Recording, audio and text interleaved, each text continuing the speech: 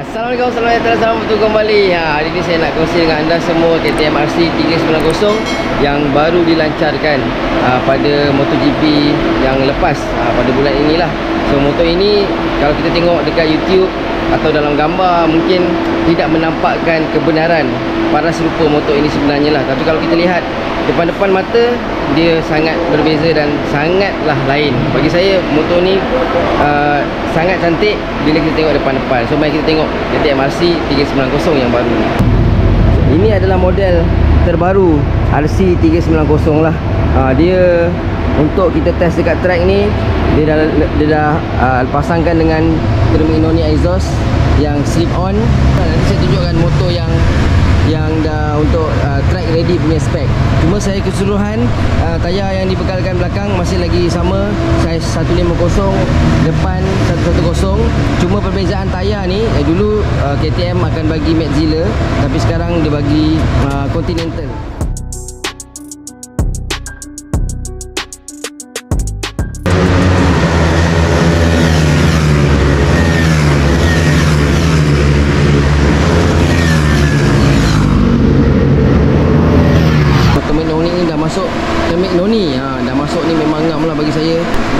silver motor tu lagi terkeluar lah. Nampak lah dia punya exhaust tu. So jom kita tengok yang uh, ready spec untuk uh, race punya. So dekat sini uh, yang dah ready uh, to race untuk masuk ke Lita. So dia dah buang echo nya so macam ni lah. Rupanya belakang dia dah buang echo dan uh, side mirror pun dah dibuka.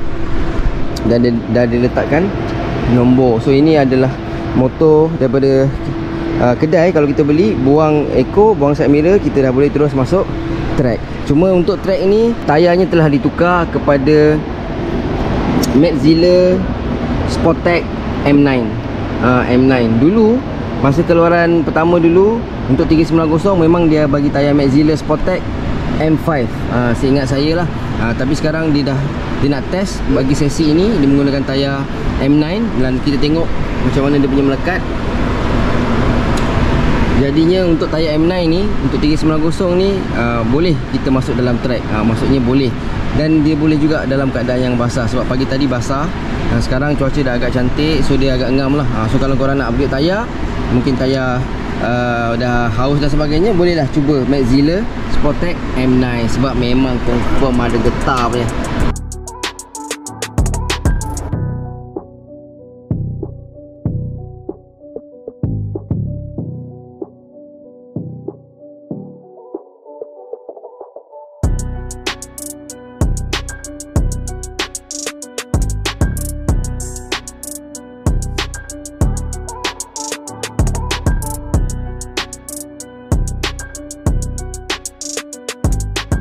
mungkin ada yang tahu mungkin ada yang tidak tahu. Dia datang dengan adjustable suspension. Handle ni handle ni triple clamp eh dia panggil kita boleh turunkan ni dah turun dah.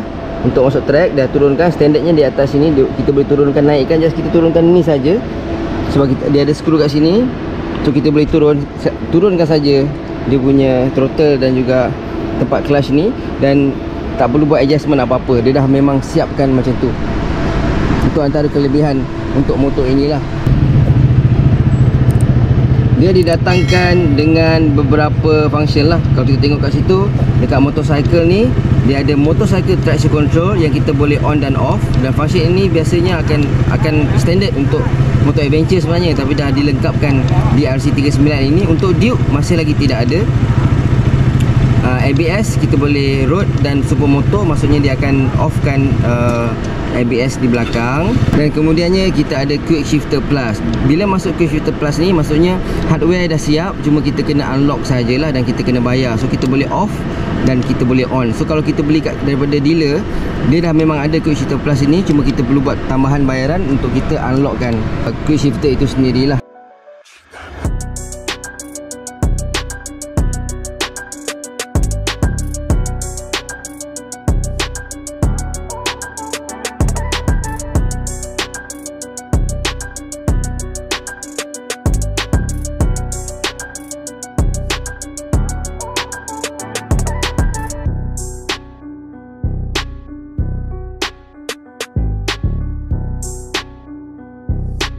okay, dari segi keseluruhan uh, motor ini bagi saya kalau kita tengok depan-depan dia sangat cantik dan dia akan nampak premium. Sebab dia punya bagi saya buatan itu agak kemas dan halus.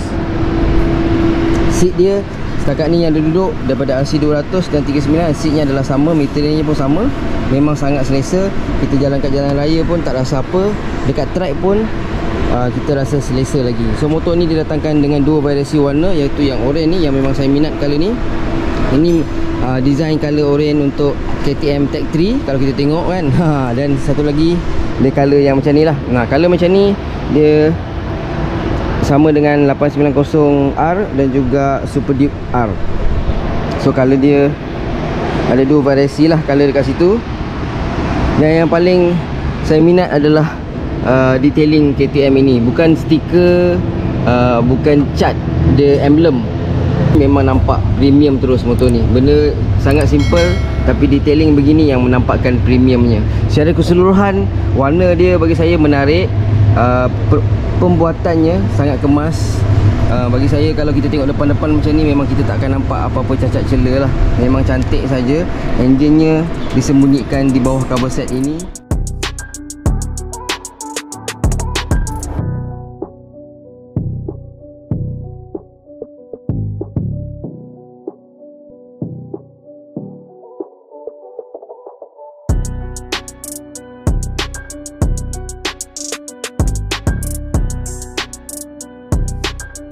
radiator dia adalah curve. Oh ini adalah uh, sangat baru. Sangat baru. Ini sama dengan teknologi untuk uh, motor-motor adventure lah. Paling rendah 250 dia menggunakan radiator curve yang macam curve radiator tu dan kipasnya sebelah tepi ni. Uh, maksudnya banyak perubahan dah uh, untuk RC390 ni. Bukan saja setakat rupa tapi uh, bahagian dalamnya pun dia ada buat improvement. Dan saya yakin bagi bahagian komponen uh, uh, ECU tuning pun ada pembaharuan. Sebab memang motor ni bagi saya sangat sedap.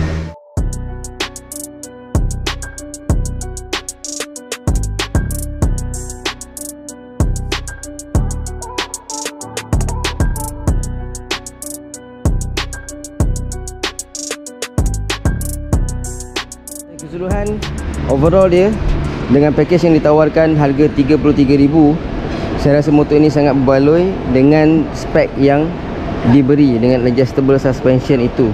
Ha, memang sangat menarik memang sangat best. So kalau kita letak motor ini di kalangan motor-motor lain jenama-jenama lain memang uh, RC390 ni akan lebih terkeluar akan lebih melompat akan lebih terselah akan lebih nampak di kalangan yang lain dan memang akan nampak kita berada di atas motor ini. Dan, dan dia terang-terang akan nampak KTM di situ KTM KTM So macam itulah dia serba sedikit.